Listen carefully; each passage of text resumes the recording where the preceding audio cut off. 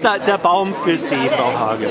Der Baum ist für mich, für mich das Zentrum der Entwicklung.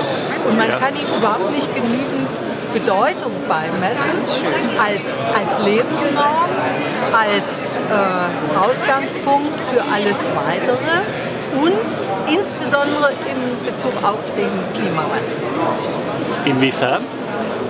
weil er Sauerstoff produziert, äh, weil er Staub bindet, weil er ja, grüne Räume schafft in, in kargen, ärmlichen Gegenden. Bei Wohnungsbaugesellschaften habe ich immer gesagt, der Baum ist das Kapital der Siedlung. Er geht nicht nur in die Fläche wie die Grünanlage, sondern er geht in den Raum. Und viele schlechte Architektur oder schlichte Architektur wird durch den Baum begrünt, verdeckt und entsprechend verschönert. Genau.